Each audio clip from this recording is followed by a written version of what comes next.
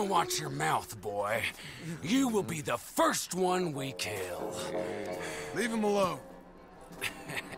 Oh, careful, boys. Careful. Look at this tough guy. Get out of here. Oh, fancy pants Get. Geddes paying you to be tough for him, huh? No, he's paying me to keep the place clean. oh, Said he had some problems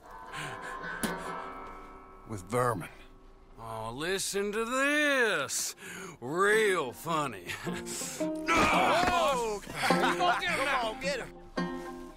Oh kick his head in Come on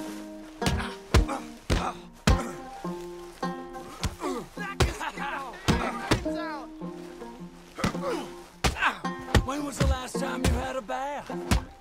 Oh, he's licking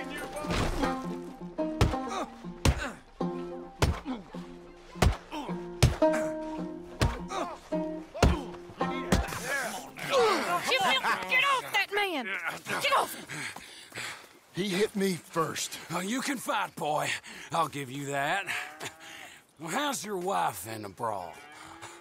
Leave my wife alone. Oh, she's real pretty. Get out of here! Oh, quite a temper you got. Imagine you're you're frustrated with your lot in life, married to a shit shoveling farmhand.